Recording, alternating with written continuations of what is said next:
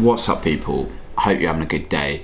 So, Sunday, the 10th of October, is World Mental Health Day, and this is something that's really important to me. And I think I've learned a lot about my own mental well-being in the last year. It's probably been the most mentally challenging year for me, and I think through tough times you build resiliency and today i'm going to try and give some tips on what i found useful to get through the, the tough times um, that i've been through this year and this is not meant to be a sob story on oh look at me and how hard i've had it i know there are people in far worse situations out there this is more so uh, trying to put some context into what I've been through this year and the tips that you can apply to your own life. Maybe you're going through a tough time or or have been, and you know this these tips hopefully will help you th- help you as well. But I'd gone from a, a, banking job that I was I wasn't really fulfilled in at all.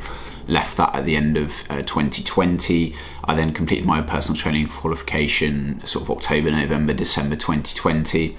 So I came into the start of 2021 and we're in lockdown in the UK, uh, third lockdown. You know, it's pretty bleak in winter.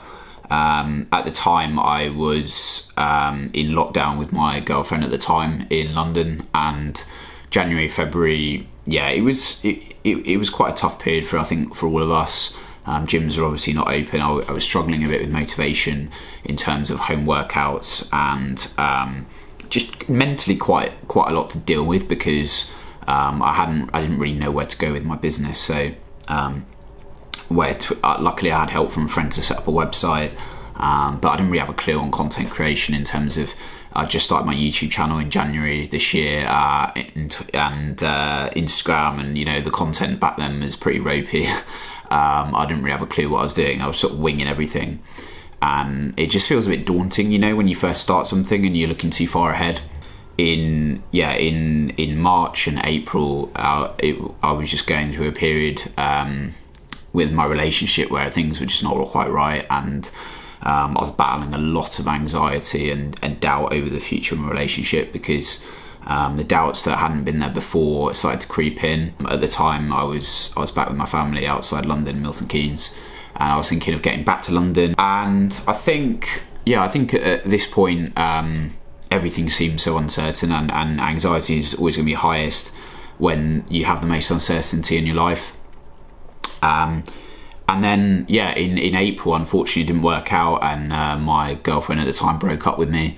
Um, and to me, it did feel like out the blue. So I, it was something that I didn't couldn't control. And obviously, you go through the you go through this initial period of like disbelief and shock. Um, if anyone else has gone through a breakup before, uh, you know exactly what I'm talking about, and you, you know you're just in disbelief, and then.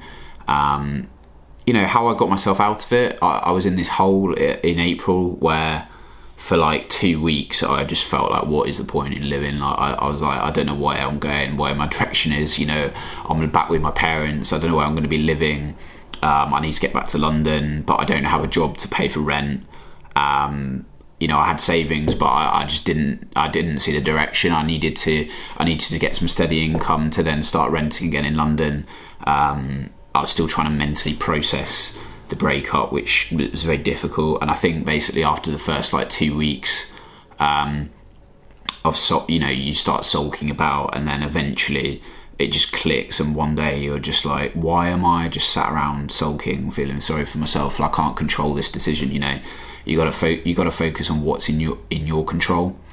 Um, so the way I got myself out of this hole was basically just thinking, right, what can I control? Took a step back and I thought, right, things I can control, hitting my step count. I looked at things like journaling, meditation to try and keep in the present and uh, practice gratitude so that I could feel a bit more grateful for the position I was in, even though I, I was going through a sort of tough time. Um, and that just gave me a good sense of perspective and that it wasn't as bad as I first seemed. Um, and I think just gradually over time, from like April and May onwards, um, I moved back to London. One of my friends um, put me up in his flat, which was really nice of him. Um, so I had a way to get back to see most of my friends in London. And then through just ticking over these daily habits of hitting my 10k steps without fail, like non negotiables, seven to eight hours sleep per day, meditating for 10 minutes, um, focusing on everything I could control. So, what could I control? Right, I could do as many job applications as I had time to do. So, I channeled all my energy and my anger and frustration from the breakup into applying for jobs, doing job interviews in April and May.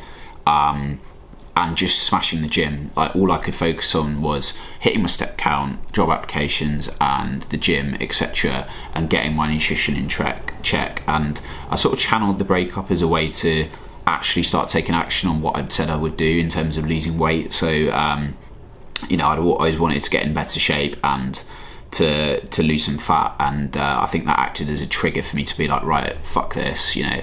I need to get some self esteem and confidence back I'm just going to go ahead and actually get myself in a deficit and, and lose this fat. So I started just ticking over the days. You know, some days you weren't really feeling it.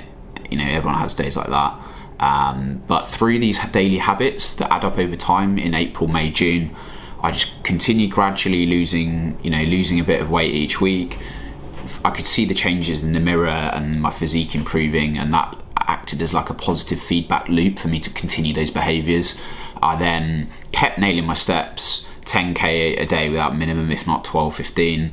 Um, journaling, meditating, um, reading before bed, getting an early night, limiting my alcohol intake, um, stopping caffeine in the afternoon. All these good habits I started doing, and I just started compounding over time and then by June I'd um, luckily secured another day job. I then looked at securing a place to rent in London with a mate. So in in August I was focusing my time on um, securing a place to live in London. So and and that's where I'm, I'm you know filming from now. Like I've I've we're now in October. I've moved into my my, my flat in London with a friend. I'm renting.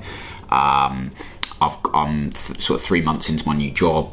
The coaching's picked up as well so I think just basically the the habits that I've I've been doing consistently over the last six months is basically what got me out of the hole that I was in, and it just really builds resiliency when you dig in and you just focus on what you can control. And I and I would always urge you to just basically reflect on on what is in your control and try not to waste energy on on worrying about things you can't control.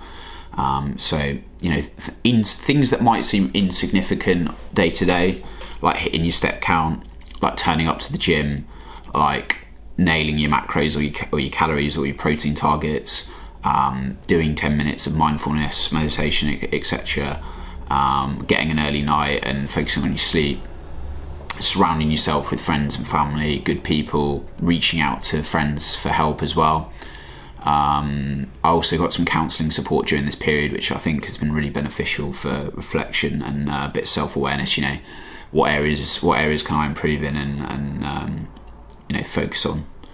And so I think all, ticking over all these positive habits is what's going to get you out of any bad situation. So um, yeah, so uh, you know, if I reflect on the last six months for me personally, I feel in a lot better place now than I was in, in March, April when I was at my lowest point and I, I couldn't really see the way forward. So, um, you know, when when so many moving parts change at the same time, like your job, your um, your relationships, where you're living, etc. When all these things are moving parts at the same time, that is when anxiety or um, worries will come in most. So um, it's definitely made me appreciate having a bit of stability now um, compared to back then. Yeah, so that that's basically what I've been going through this year and um, and how I essentially got myself out of it. And yeah, I think by by essentially picking up these good habits, focusing on what you can control, and and just ticking over the days, you know, it won't seem significant each day. There'll be some days where you just don't feel like doing your steps or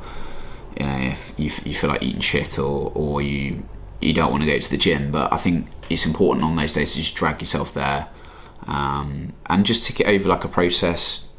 Keep trusting the process. Eventually, you're going to get yourself out of that hole, and things will start to fall in place. And I think um, you know trying to remain positive even in in these bad times is what's going to build resiliency.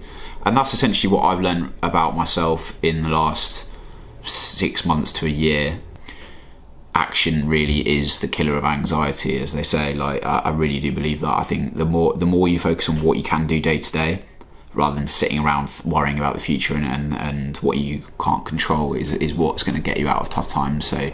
Um, yeah, that is my thoughts on sort of mental health. Yeah, I know people have been through tougher situations than me, but that is that's my personal experience this year, and I'm grateful for the position I'm now in, and yeah.